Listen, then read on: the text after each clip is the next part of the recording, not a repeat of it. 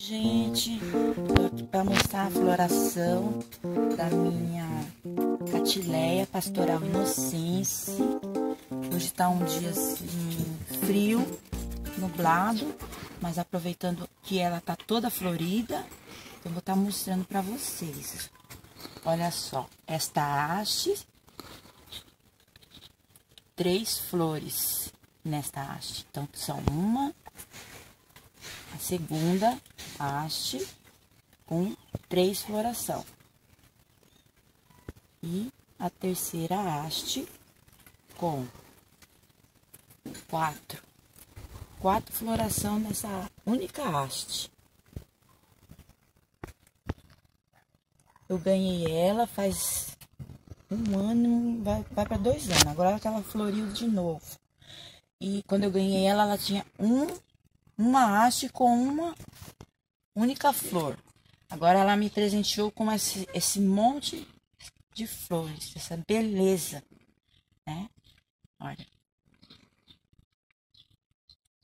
As raízes dela já tá exposta, eu deixo, né? Porque elas gostam de ficar assim exposta. Então eu deixo ela pendurada dentro do mini orquidário.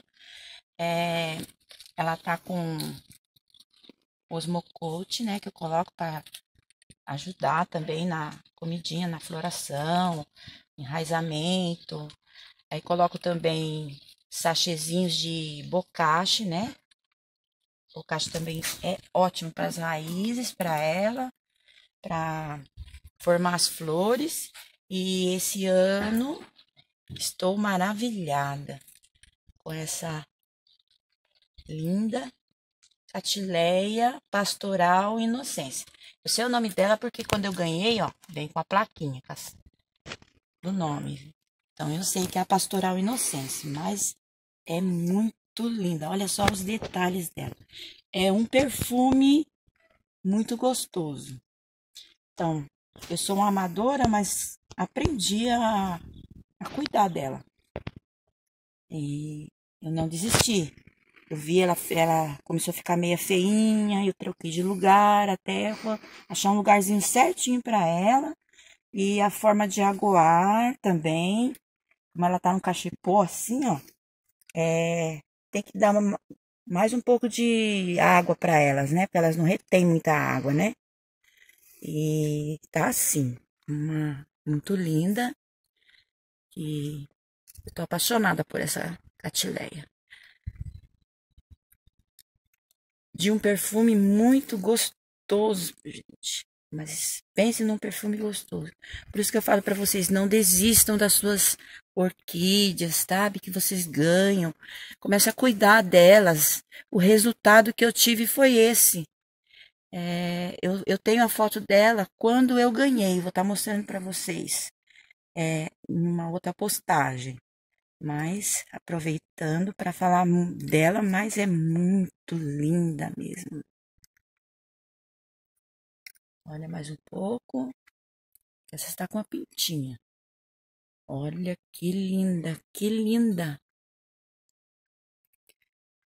Está vindo com outra espata de floração também. Olha, viu? Essa aqui é uma frente. Essa é outra frente. Essa aqui é outra frente no mesmo pé. Está vindo com mais floração.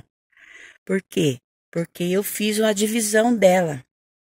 Já que ela tava meia, sabe, doentinha. Aí eu fiz uma, assim, uma, tipo uma divisãozinha nela. Não cortei, só deixei ela sentir, dar um sustinho nela. E deu certo. Deu certo, porque ela abriu três frentes. Aqui ela tem três florações aqui, porque é um pé com três frentes. Entendeu? Aí eu vou deixar ela com três frentes mesmo, para ver como é que vai ficar, né? Mas já tem mais espata para abrir. É isso aí, pessoal. É, não desistam das suas orquídeas, não desistam do seu sonho de cultivar, que é uma coisa muito bonita, né? Na vida da gente.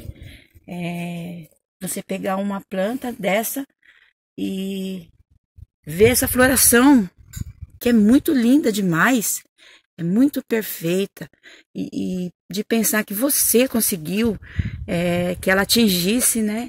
essa floração porque vai dos cuidados que a gente tem, porque ela fica no mini orquidário, fica protegida do, do sol, da chuva, com um sombrite de 50%.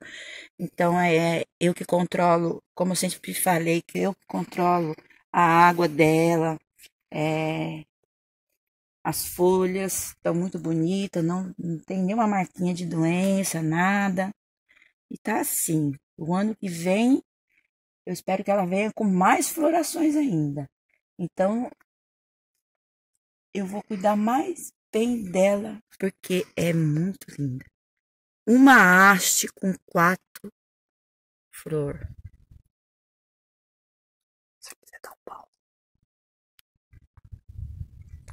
Continuando, ó, aproveitando essa floração também, dessa, dessa Wanda, olha só que coisa mais bonita a floração dessa Wanda.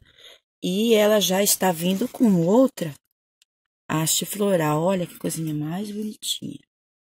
É muito linda, muito perfumada também. Aqui, ó, tem um filhote e outro filhote desse lado aqui. Só que eu não sei, tô na dúvida se eu se eu destaco os filhotes, faço outras mudas ou se eu deixo as três é, formar aqui, três pés em um, não sei, né? Tenho outras Wanda, mas a surpresa aqui é essa aqui com filhotes, né? Eu também vou ver o que, que eu vou fazer. Se alguém tem uma Wanda ou já teve alguém que conhece, que teve filhotes, deixa nos comentários se, se é bom eu separar os filhotes da, da mãe ou deixar tudo junto. Também é uma dúvida, né, que eu tô tendo, porque nós amadores a gente tem que procurar conhecimento. Então, precisa um pouquinho de uma ajudinha, né? porque eu também sou uma amadora. Mas estou me saindo muito bem. Tudo que eu estou mostrando, tudo que eu mostro é comigo cultivando já. O que deu certo para mim, então eu passo para vocês. Eu não, eu não estou falando nada que eu não cultivei, viu? Olha as raízes dela.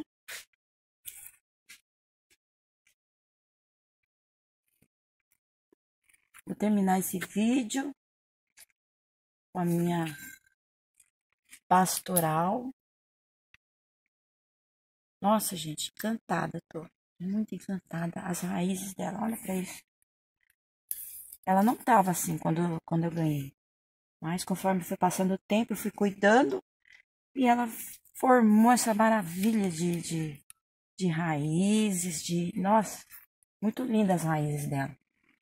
E eu tô encantada. Para aproveitar a floração dela, né? Resolvi fazer uma mostrar para vocês. E obrigado por vocês terem tirado um tempo para apreciar comigo essa a floração da minha planta, das minhas orquídeas. E curte, deixa um like pra gente, comenta, compartilha o vídeo. Para quem gosta de orquídeas, que como eu pensava assim, é, não, nunca vou conseguir ter uma floração igual a que veio, mas não é verdade.